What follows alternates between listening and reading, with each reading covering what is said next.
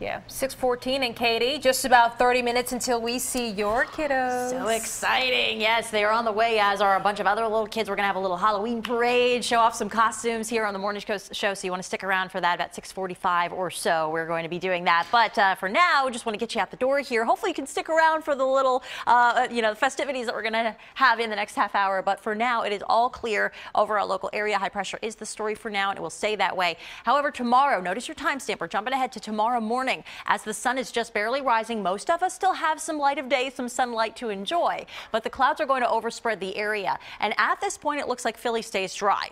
down towards Delaware, southern New Jersey, you should be okay. But notice this little swath of rain that's trying to work its way through. There could even be a localized moderate downpour that comes through the Poconos, but generally these showers hold off uh, to the northwestern counties. The furthest south extent of this, even by the model's expectation, would only make it to Chester or western Montgomery County. So we'll keep our fingers crossed. We think that we will stay dry in Philly, though, and all points south of that. It's pretty much guaranteed. Just a lot more clouds. And then we actually still have a few showers in the forecast Thursday and Friday. That's also when we warm up. We'll get to that in the seven day, but a quick check outside in our live neighborhood network. It is all clear right now, and you're looking pretty good. A couple of stray clouds far up in the sky. Uh, nothing really low to the ground. 60 is our eventual high, though. In full sunshine, it's a little breezy during the day, but later this evening, that wind really eases up just as the uh, sun is setting. The moon is rising, and it will be a nearly full moon over our, our, our area with a waxing gibbous. About 83% illumination is what that boils down to, but increasing clouds with time. So sort of an eerie cast over the night sky as the night progresses.